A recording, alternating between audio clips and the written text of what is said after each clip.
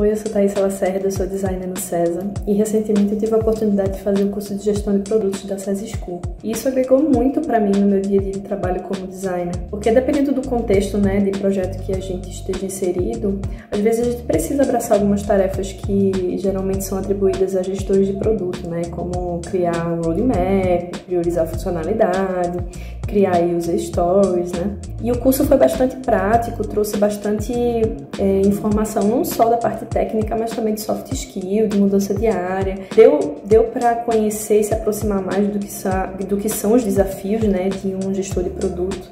E isso é, agrega para mim também no sentido da comunicação.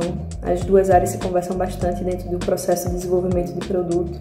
Então, quanto mais a gente conhece o desafio né, e o processo da, da outra área, melhor a gente se comunica.